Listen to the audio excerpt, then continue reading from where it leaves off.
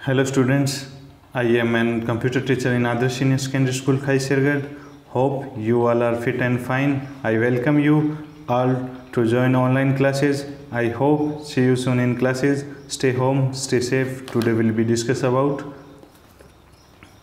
chapter first chapter first है हमारा history and development of computers computer के इतिहास और विकास के बारे में हम इसमें अध्ययन करेंगे। चैप्टर फ़र्स्ट है, इसके की पॉइंट है। क्या है? महत्वपूर्ण बिंदु क्या है? फ़र्स्ट पॉइंट है जो इंट्रोडक्शन चैप्टर का क्या है? इंट्रोडक्शन करेंगे हम। Second point history of computer computer के इतिहास के बारे में जानेंगे। फिर थर्ड पॉइंट है, वो क्या है? Development of the computer computer के विकास के बारे में हम जानेंगे इस चैप्टर में। ये जो महत्वपूर्ण बिंदु हैं, आपके तीन महत्वपूर्ण बिंदु हैं, इस, इनका अध्ययन हम इस चैप्टर में करेंगे।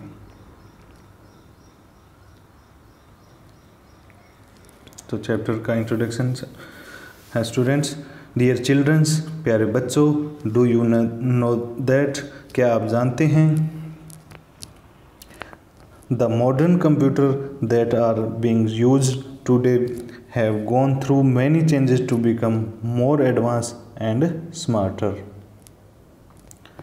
जो आज जिस आधुनिक कंप्यूटर का उपयोग किया जा रहा है, वह और अधिक उन्नत व स्मार्ट बनने के लिए कई परिवर्तनों से गुजरा है। मॉडर्न मीन आधुनिक और थ्रू मैनी चेंजेस मीन परिवर्तनों से एडवांस मीन उन्नत। ठीक है बच्चों? आगे बढ़ते हैं। With the growth and development of human beings मनुष्य की वृद्धि और विकास के साथ डेवलपमेंट मीन विकास ग्रोथ मीन वृद्धि। The computer also took hundred of year to be the today's one computer को कंप्यूटर को आज जो स्वरूप हम देखने को मिलता है, उसके लिए सौ वर्ष लग गए। कंप्यूटर को, जैसा आज जिस कंप्यूटर का स्वरूप है, उस तक, उसको बनने में सौ वर्ष लग गए। ठीक है बच्चों? There were various stage various stage of its development इसके विकास के विभिन्न चरण थे। वेरियस स्टेज विभिन्न चरण। डेवलपमेंट में विकास। Let's learn in brief such stage in development of computer आइए हम कंप्यूटर के विकास के बारे में संक्षिप्त रूप से पढ़ते हैं। ब्रीफ मीन संक्षिप्त रूप से। History of computers.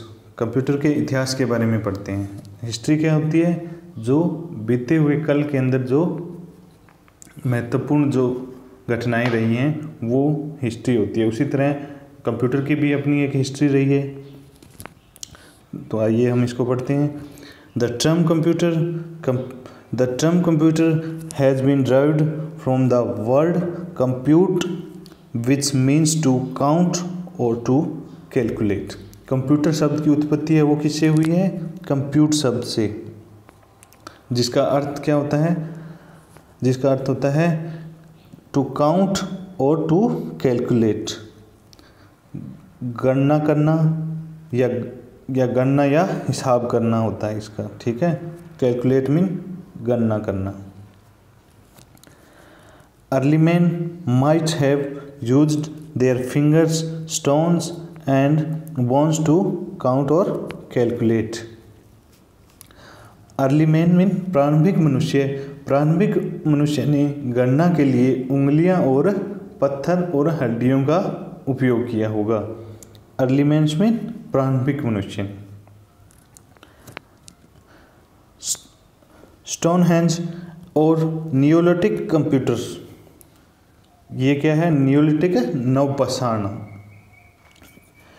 ये इसके बारे में हम पढ़ेंगे कि ये क्या चीज़ है स्टोन हैंज और neolithic computer Stonehenge was a circular pattern of stone placed in a huge round to huge round. तो ये स्टोन हैज़ एक पत्थरों का एक विशाल गोलाकार पैटर्न था। To perform calculate through the position of sun rays lying on it गोलाकार पैटर्न था जो उस पर पड़ी सूर्य की किरणों की स्थिति के माध्यम से गणना करने के लिए काम में आता था।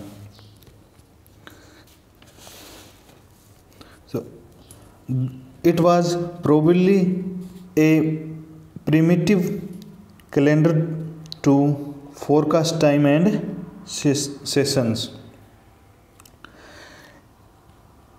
यह शायद समय और ऋतुओं का पूर्वानुमान लगाने का एक आदिम कैलेंडर था। प्रोबेबली मीन संभवतः या शायद प्रिमिटिव मीन आदिम कैलेंडर मीन जो अपने जो कैलेंडर होता है वो हो गया। फोरकास्ट मीन पूर्वानुमान। ठीक है बच्चों? आगे बढ़ते हैं हम। ये जो आपको इसमें दिखाया गया है डायग्राम, जो पहले जो कैसे लगाया जाता था, पूर्वानुमान इसके द्वारा ऋतुओं और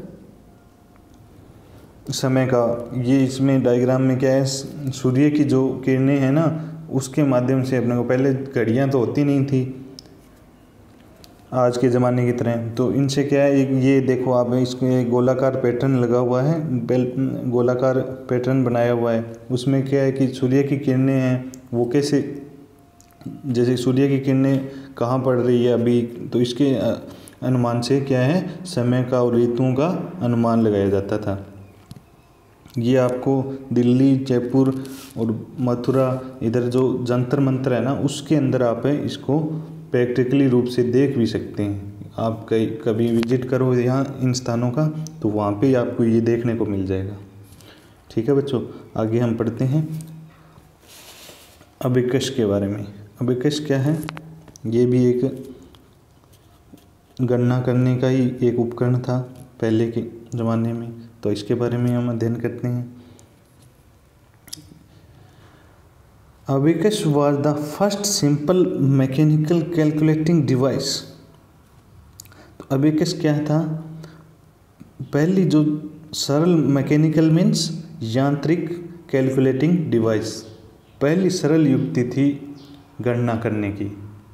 अबिकस क्या था? अबिकस पहला सरल यांत्रिक गणना उपकरण था। मैकेनिकल मीन यांत्रिक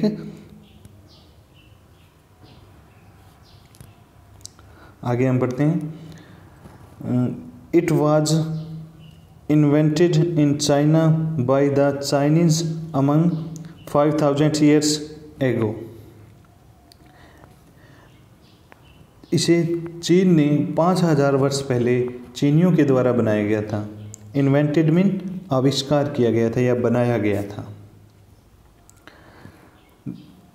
An abacus a number of rods with beads beads. Abacus में क्या है? मोतियों के साथ है, कई छड़ें होती हैं। Calculate on it are done by sliding these beads across the rod इस पर गणना करने के लिए इन मोतियों को छड़ों के पार खिसका कर की जाती है। तो ये आपका अबेकस का डायग्राम बनाया गया है। इसमें ये देखो बच्चों, ये अबेकस का डायग्राम है।